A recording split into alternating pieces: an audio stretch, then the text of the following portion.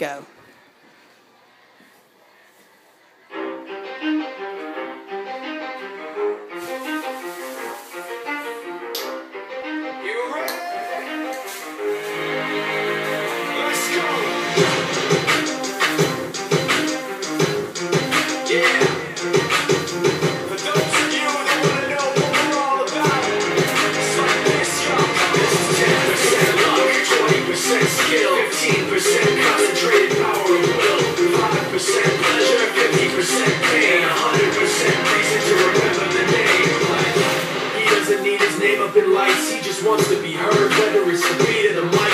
He feels so unlike everybody else alone, in spite of the fact that some people still think that they know, him, but no, he knows the code. It's not about the salary, it's all about reality and making some noise, making a story, making sure his click stays up. That means when he puts it down,